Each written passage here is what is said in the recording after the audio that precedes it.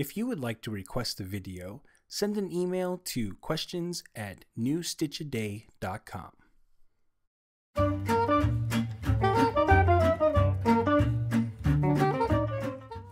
How to knit the ridged rib stitch, English style. For this tutorial, you will need a pair of knitting needles and a ball of yarn. Special thanks to our sponsor Lion Brand for providing today's yarn. Today we are using their Vanna's Choice line in the color olive. For this pattern you must know the following techniques.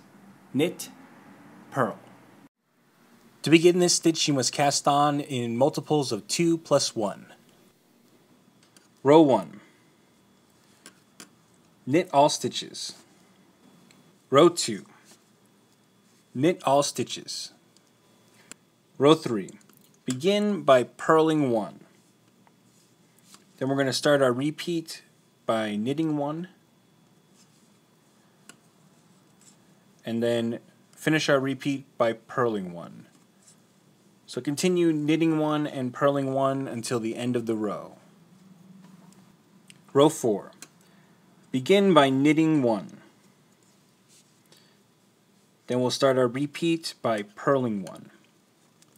And we'll finish our repeat by knitting 1. So continue purling 1 and knitting 1 until the end of the row. Repeat rows 1 through 4 until you have reached your desired length. And that's how you knit the ridged rib stitch. After a few repeats, your pattern should look like this. Want more New Stitch a Day? Check out our website at newstitchaday.com. New Stitch Day is a craftery media production.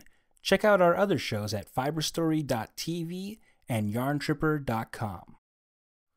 This video is licensed under a Creative Commons Attribution No Derivatives 3.0 unported license, which means use it on your website, put it in your patterns, but please don't change anything.